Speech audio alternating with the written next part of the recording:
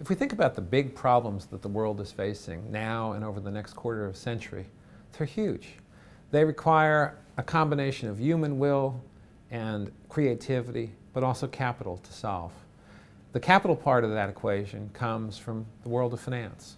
How will we deploy our resources, our scarce economic resources, against the problems of the world, whether that's an aging society, whether it's climate change, or any of the other pressing issues that we have to deal with?